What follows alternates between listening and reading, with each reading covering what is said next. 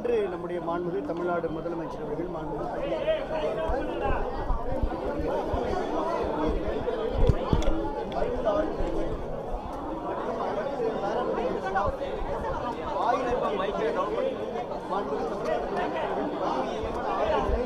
வழங்கியிருக்கிறார்கள். இந்த பணி நியமனங்கள்லாம் மக்கள் நல்வாழ்வுத்துறையில் வெளிப்படையாக நேர்மையாக ஆண் மெரிட் மருத்துவ பணியாளர் தேர்வு வாரியத்தின் மூலமாக நிரப்பப்பட்டு வருகின்றன. கலந்தாய்வு மூலமாக அவர்களுக்கு இடங்கள் வழங்கப்பட்டு வருகின்றன.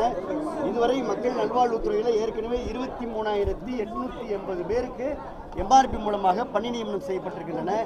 இந்த பணி நியமனம் மூலம் பொது சுகாதாரத்துறையில் ஜீரோ பர்சன்ட் வேகன்சி அதாவது இனி மருத்துவ பணியிடங்கள் காலி இல்லை என்ற நிலையை பொது சுகாதார நிலையில் குறிப்பாக கிராமங்களில் நாம் உருவாக்கி இருக்கின்றோம் இதை தொடர்ந்து அது மட்டுமல்லாமல் இந்த ஹேண்ட் டிரான்ஸ்பிளான்ட் பைலேட்டரல் கடாவரிக்கு ஹேண்ட் டிரான்ஸ்பிளான்ட் இரண்டு கைகளையும் இழந்த ஒருவருக்கு மாற்று அறுவை சிகிச்சை மூலமாக இரண்டு கையையும் பொருத்தி சாதனை படைத்த மருத்துவ குழு டாக்டர் ரமாதேவி தலைமையிலான மருத்துவ குழுவிற்கு மாண்புமிகு தமிழ்நாடு முதலமைச்சர் அவர்கள் பாராட்டு சான்றிதழ்களை வழங்கி பெருமைப்படுத்தியிருக்கிறார்கள்.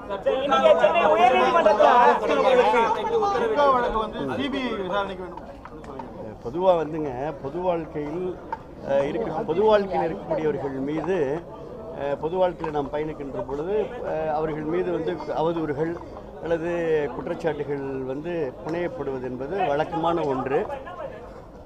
அந்த வகையில் துடிப்போடும் முனைப்போடும் சிறப்பாக செயல்பட்டால் கூடுதலாக அது போன்ற சில அவதூறுகள் கிளம்பும். ஏன்னா அவதூறுகளை கிளப்புவது எதிர்க்கட்சி அது அவருடைய வேலை. எங்களுடைய வேலை மக்கள் நல பணியில் பணியாற்றுவதுமே வேலை ஒரே உரையிலே உங்களுக்கு அதுக்கு நான் கருத்துக்களை சொல்ல விரும்பினால் மடியில் கனம் இல்லை வழியில் பயம் இல்லை.